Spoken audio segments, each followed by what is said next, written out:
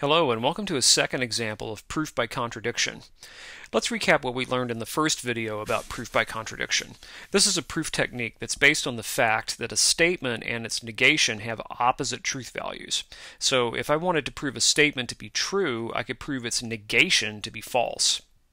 So to prove a statement, say S, to be true using a proof by contradiction, I first assume that the negation of S is true.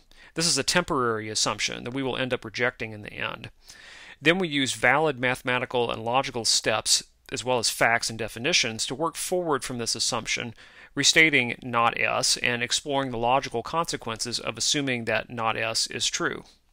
Eventually, we'll arrive at a contradiction to a known fact or at a situation where two opposed facts must be true at the same time. This forces us to reject the assumption that S is not true, and so not S must be false. That means S, the original statement, must be true. So let's put this to work in another example. The theorem says that for all positive distinct real numbers x and y, we have that the square root of xy is less than x plus y divided by 2.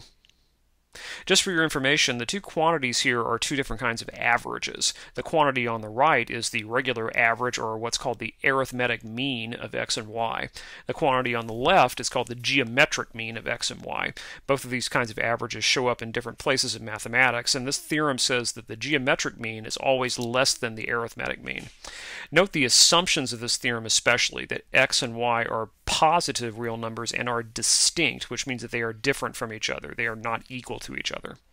Now, proving inequalities can sometimes be tricky. It's easy to want to prove an inequality using a backwards proof, that is, by starting by assuming that the inequality to be true and then working backwards. But we've seen that backwards proofs are logically flawed because we can't assume the result we're trying to prove.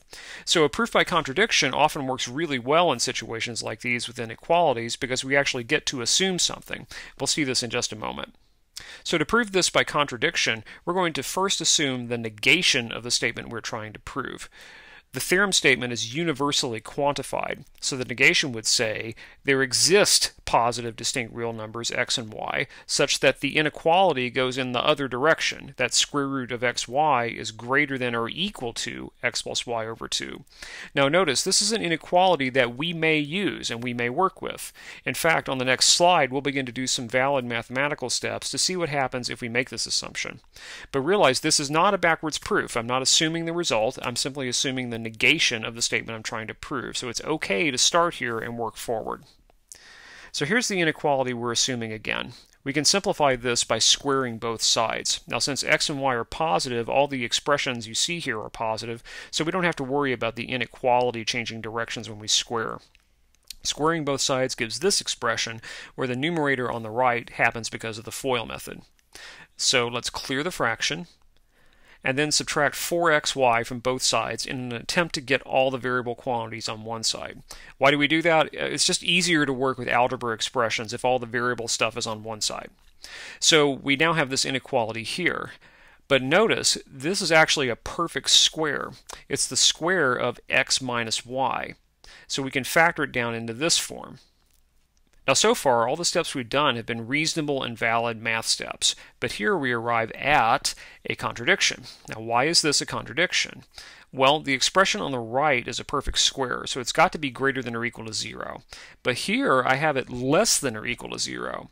Now this perfect square cannot possibly be negative there is a possibility it could be zero, but that's actually ruled out here. It can't be zero in our case because x and y were assumed to be distinct real numbers. So x minus y isn't zero because x and y are different.